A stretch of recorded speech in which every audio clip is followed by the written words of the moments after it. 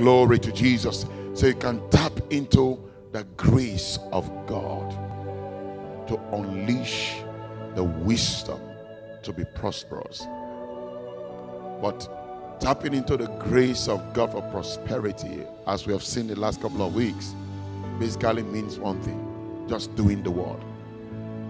Doing what the word says. Because the scriptures cannot be broken. Bible says that heaven and earth may pass away, but not one jot of God's word shall fall to the ground. Hallelujah. Glory to Jesus. Isaiah chapter 40, verse 8 says, The flowers may fade, the grasses may wither, but the word of God abides forever. The greatest, the greatest trap the devil can bring a child of God into is to begin to have a problem with God's word. You can have a problem with a, a, a preacher, you can have a problem with you know anybody else, but don't have a problem with God's word. Because God's word is the only thing that guarantees your freedom. The Bible says that true knowledge shall be just be delivered. So if you have a problem with the word of God, your deliverance is far from anything.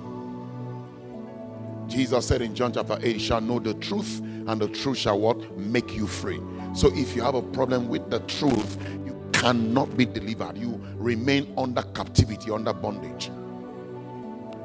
David said that what is a lamp unto my feet is a light on my path. If you have a problem with, with God's word, you will stumble because you walk in darkness. You walk in darkness. You can have a problem with anything else. But once the word of God says it, surrender yourself to it, submit yourself to it. That's all.